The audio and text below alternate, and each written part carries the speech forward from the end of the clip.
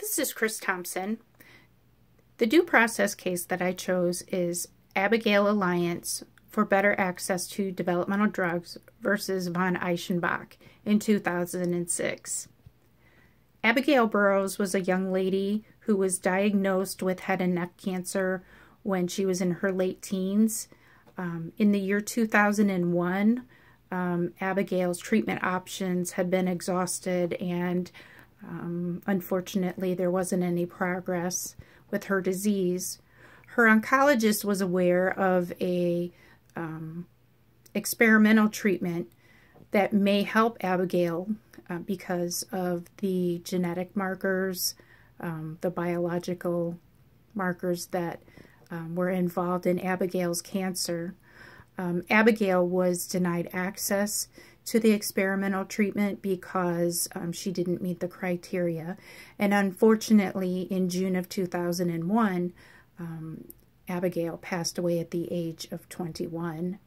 Um, during the time um, that Abigail was trying to fight for access to the clinical uh, trial, the experimental therapy, um, her father um, started a nonprofit organization um, Abigail Alliance um, for better access to um, developmental drugs. Um, in 2006, the organization Abigail Alliance um, filed a um, due process uh, lawsuit against the Food and Drug Administration, citing the Fifth Amendment uh, that the FDA was blocking um, Abigail's right and, and other patients' rights to um, life and liberty. Um, the three uh, three judge panel found in favor of the alliance, citing that um, patients do have the right to due process. Patients do have the right to try and save their own lives um, self preservation, um, and uh, that historically Americans, you know, do not um, stand in the way of a person trying to um, save themselves.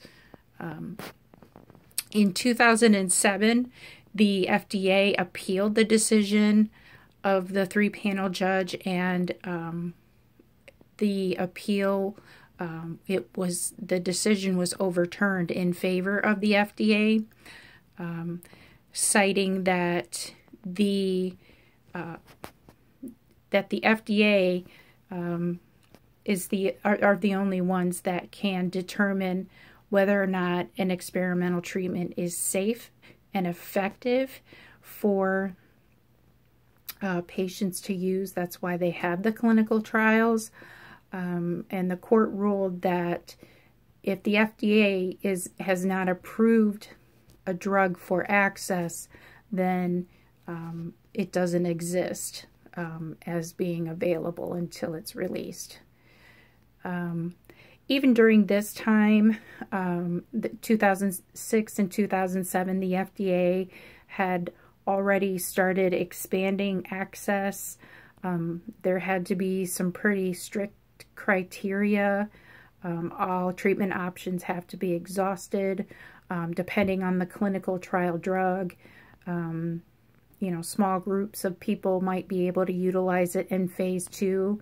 Um, and under certain circumstances, um, some other larger groups may be able to access the, the experimental medications under um, the phase three, which is the final phase the um, the problem with these phases and the expanded access that exists with the FDA is it's a very um, time-sensitive process. Um, it takes a long time to get anything approved, and, and unfortunately, people with terminal illness don't always have that kind of time.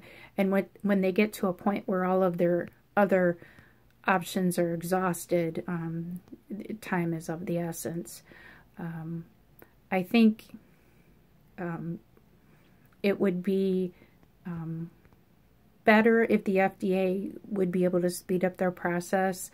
Um, I understand it from both sides. I understand that the FDA needs to make sure that um, treatment options are safe and effective for people, but at the same time, I also understand that uh, people um, with no other options are desperate, and they should also have the option to um, try a medication or a treatment therapy um, without liability to the FDA or the testing um, facility if, if things were to go bad. But um, hopefully this is something that could be sped up in the future and as our our drugs, um, our drug companies do more research, hopefully there will be more effective drugs um, on the horizon.